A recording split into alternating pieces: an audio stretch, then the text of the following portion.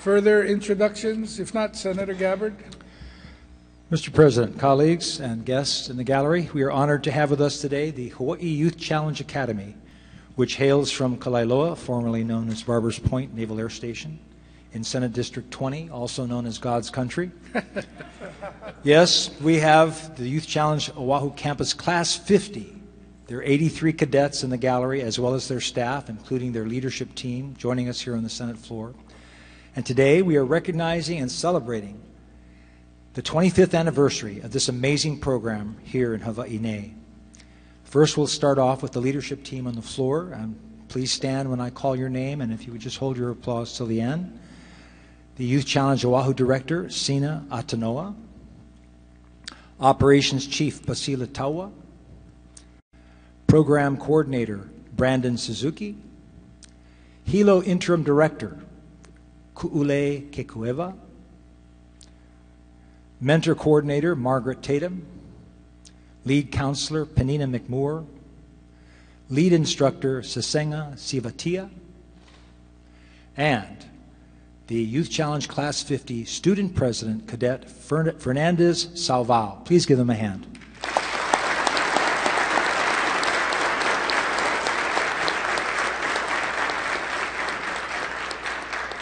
Thank you. Youth Challenge was founded in 1994 and is, is administered by the Hawaii Army National Guard.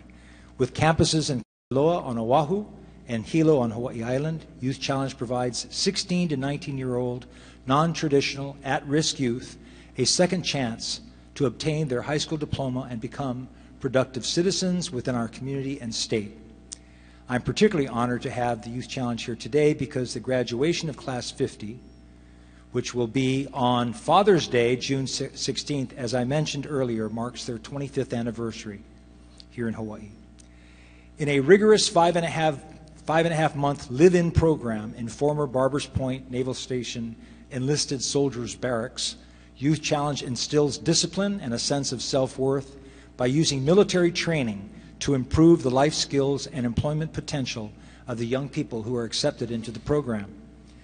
The program's eight core components focus on the holistic development of the youth and include academic excellence, life coping skills, job skills, health and hygiene, responsible citizenship, community service, leadership, followership, and physical fitness. Uh, some of their community service projects where they're learning about service to others include Loko'ea Fish Pond, Wahiawa Hospital, Aloun Farms, Adopt a Highway, Waianae Boat Harbor, and the fun fair for the surrounding community.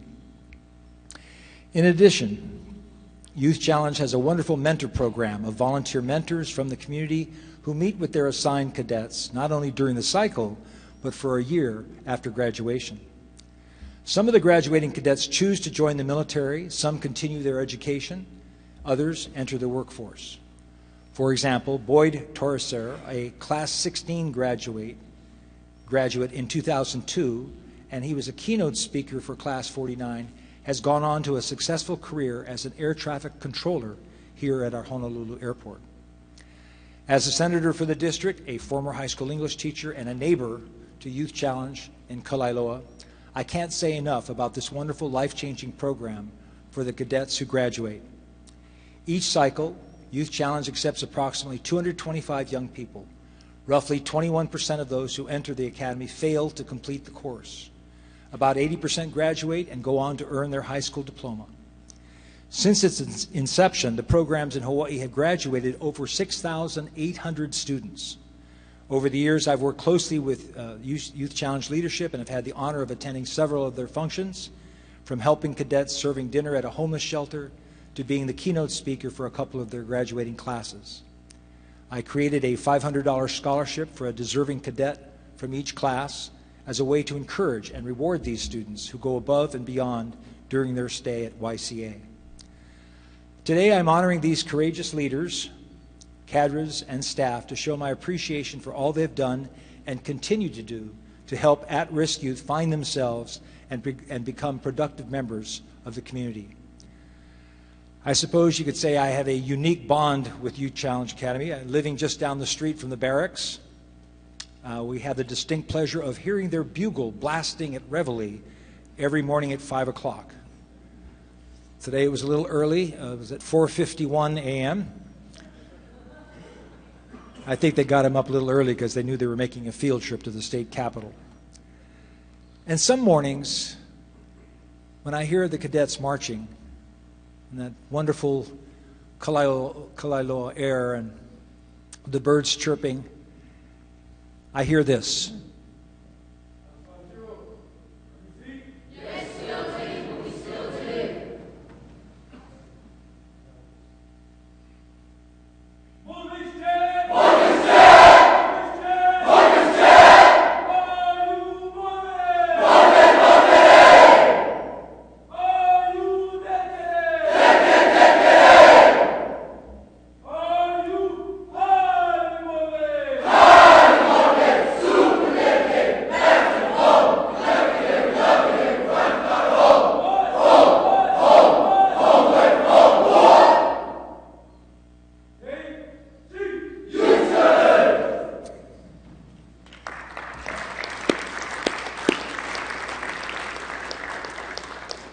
Now, it may come as a surprise to many of you, but I was a, an at risk youth myself.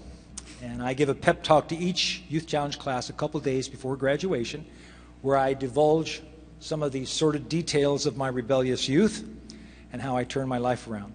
I speak to them about some of the problems that we face here in Paradise the cost of living, affordable housing, homelessness, and how they should get involved in helping solve these problems instead of just complaining about them. I talk to them about the importance of serving others instead of oneself if they want to be truly happy and successful in life. I let the cadets know how much I believe in this program and how proud I am of their commitment to see it through to its end.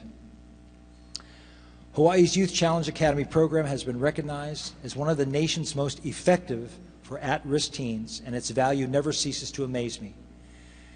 YCA has been changing the lives of young men and women since 1994, leaving a positive mark on the Hawaiian community that will last for years to come. So today, the Senate of the 30th Legislature of the State of Hawaii, we hereby honor and commend the Hawaii Youth Challenge Academy leadership team and staff for having the, the vision, determination, and commitment to help the young cadets under your care get a second chance at a productive and successful life.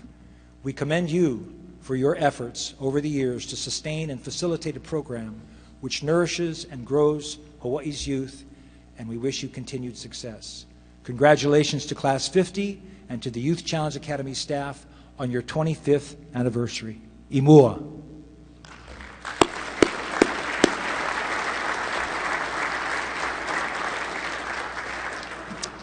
And Mr. President, in the gallery, I'd like to recognize the following uh, Youth Challenge Academy staff. Uh, please rise as I call your name, and please hold your applause until the end.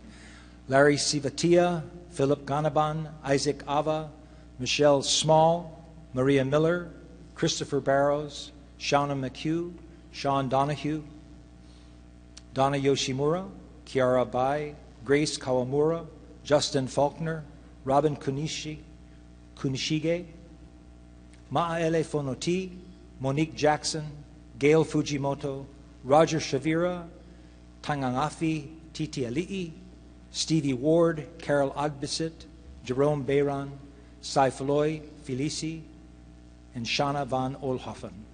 Please give them a big hand.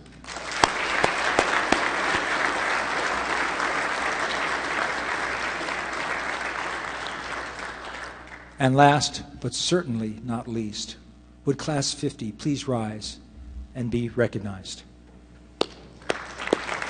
Youth Challenge.